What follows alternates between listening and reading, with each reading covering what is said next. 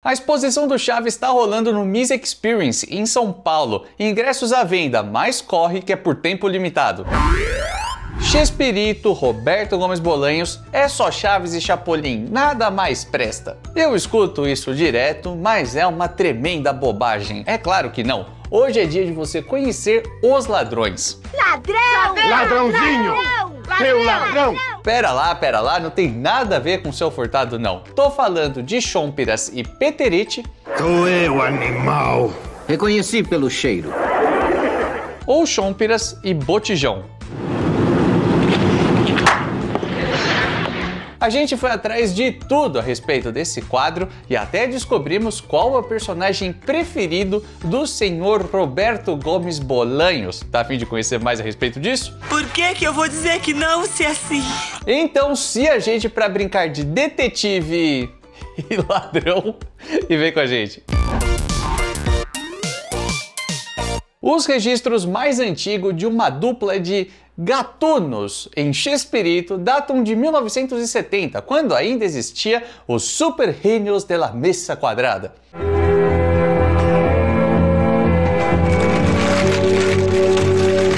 A dupla, formada por Chespirito e Ramon Valdez, volta e meia aparecia tentando furtar alguma coisa, cometer algum delito. Ah, Renan, mas você tá de brincadeira. E eu cliquei aqui e já conheço a dupla de ladrões. Isso aí é um sketch genérico, não tem nada a ver com os personagens que eu conheço. Olha, isso até poderia ser verdade se não fosse por essa cena.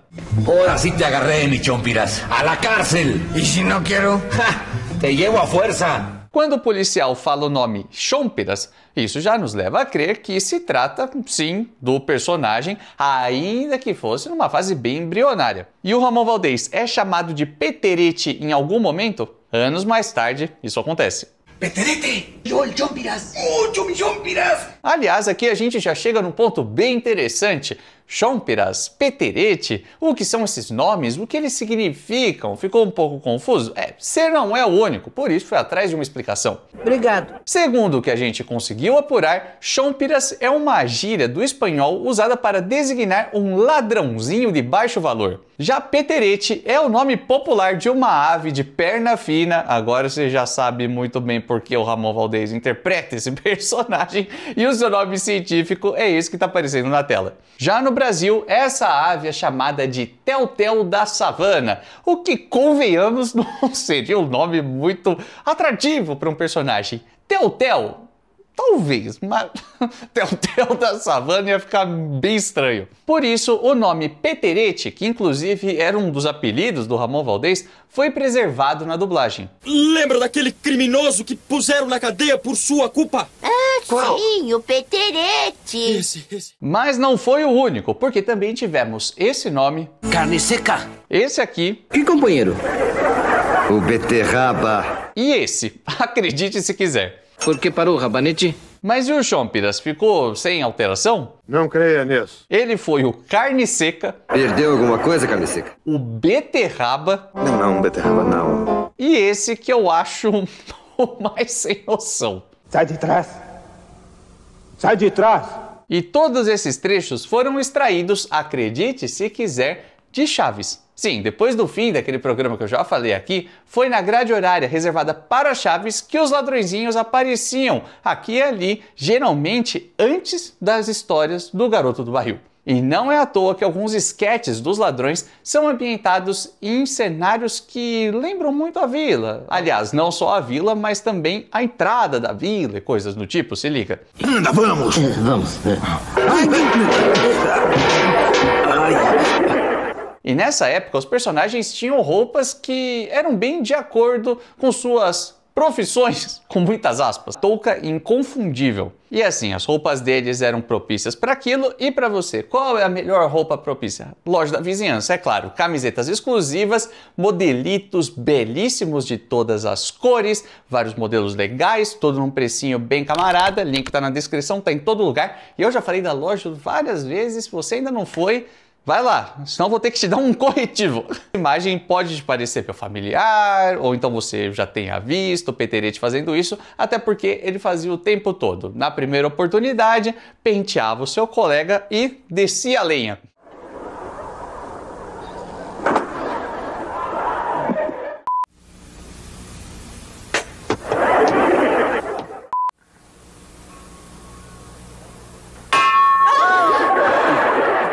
Muito louco pensar que isso antecedeu os cascudos do seu Madruga no Chaves e provavelmente foi uma referência direta. Mas parava por aí? Que nada. E da próxima vez, vou te fazer coceguinhas na garganta, mas com arame farpado. Até porque os dois não aprontaram somente no horário de Chaves. Em Chapolin, eles também participam, como no episódio da Festa Fantasia. Você não vê que tenho que receber o contrabando aqui? Ah, sim, assim sim. Ah, e só para eu não me esquecer, o Peterete aparece vestido de pantera cor-de-rosa, combinando perfeitamente com aquele famoso caminhar do personagem.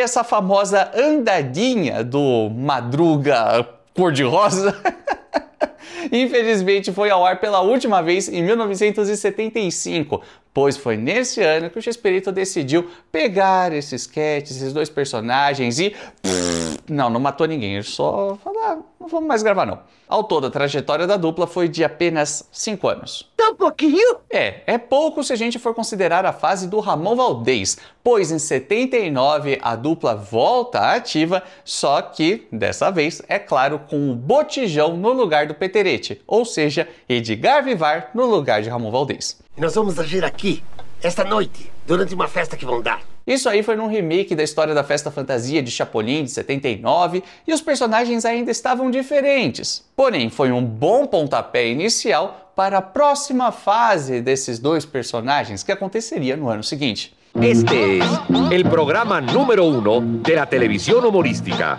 Chespirito. En esta ocasión, interpretando al Chompiras. A volta de um programa chamado Chespirito rolou em 1980 e a dupla de ladrões já estava por lá. Dupla essa que na época foi batizada de Los Caquitos e só pela curiosidade, Caco ou Caquito também é mais um termo para chamar alguém de ladrão, de gatuno. Nossa, aí um, nada a ver, né? Eu fui tentar fazer uma referência do episódio de Chaves de ladrão, ladrão, e saiu ouros, ah, tudo bem.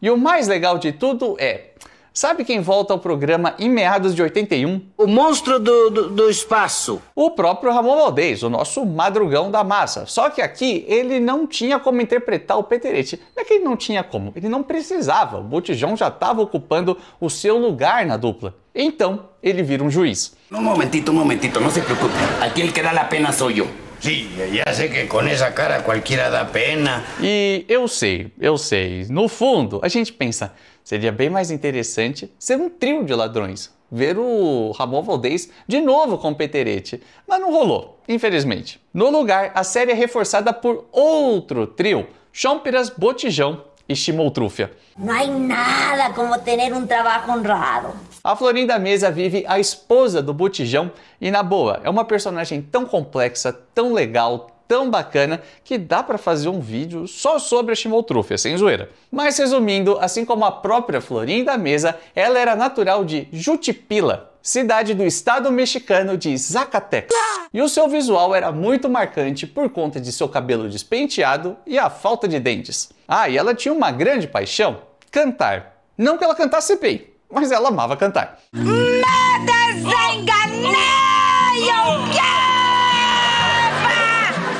Fora que é graças a ela que o seu marido Botijão e o seu amigo Chompiras abandonam a vida do crime.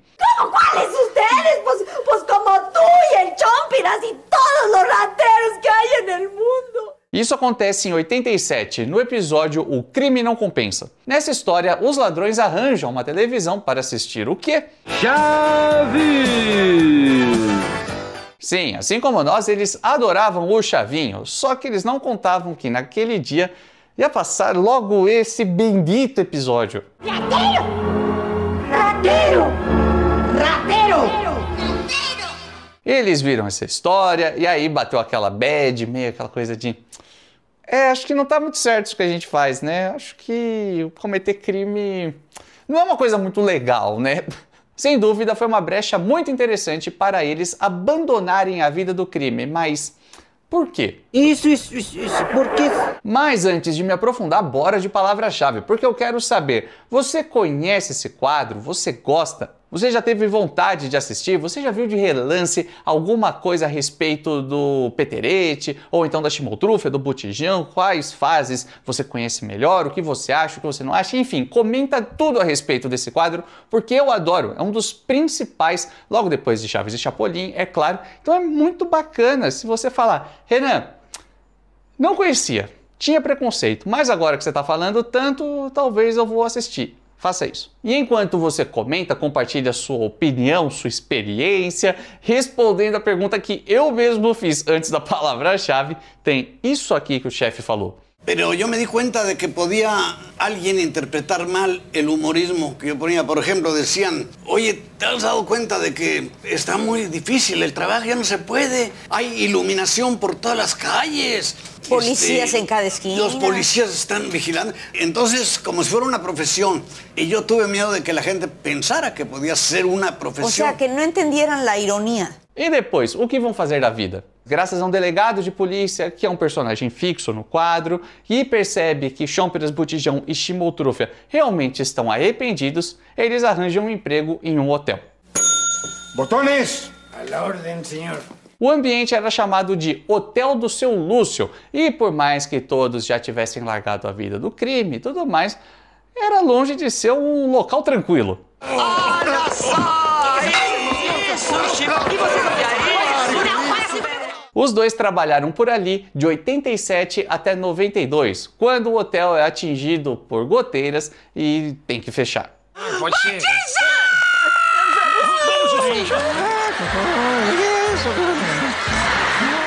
Ah, e você deve estar se perguntando por que alguns desses trechos que eu mostrei estão dublados. Isso porque o estúdio Gota Mágica fez a dublagem das últimas temporadas de Chespirito, isso é, de 90 até 95. E numa dessa, o protagonista recebeu um nome curioso. O senhor se chama Chaveco?